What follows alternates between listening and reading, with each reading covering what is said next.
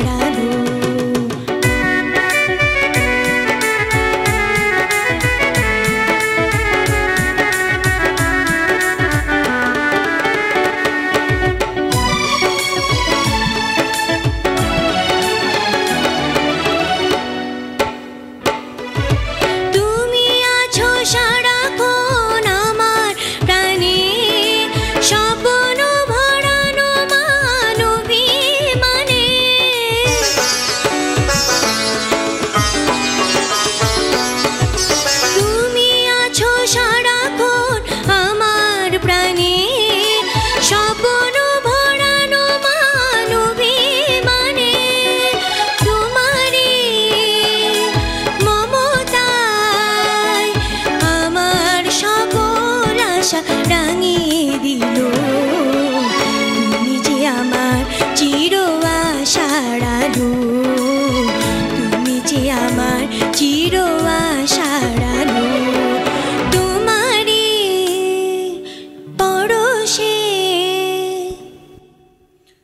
পুষ্পিতা, তুমি নার্ভাস ছিলে একটু। নার্ভাস না থাকলে আরেকটু ভালো গেতে তোমার এটাই কার্ডটা নিয়ে যাও। তুমি আরও প্র্যাকটিস করবে, তাহলে আরও ভালো করতে পারবে। হ্যাঁ থ্যাংক ইউ আমরা পেয়ে গেছি আরও একজন প্রতিযোগী যিনি পেয়েছেন গোল্ডেন পাওয়ার কার্ড আমরা শুনতে চাই তার অনুভূতি কেমন লাগছে গোল্ডেন পাওয়ার কার্ড পাওয়ার পরে?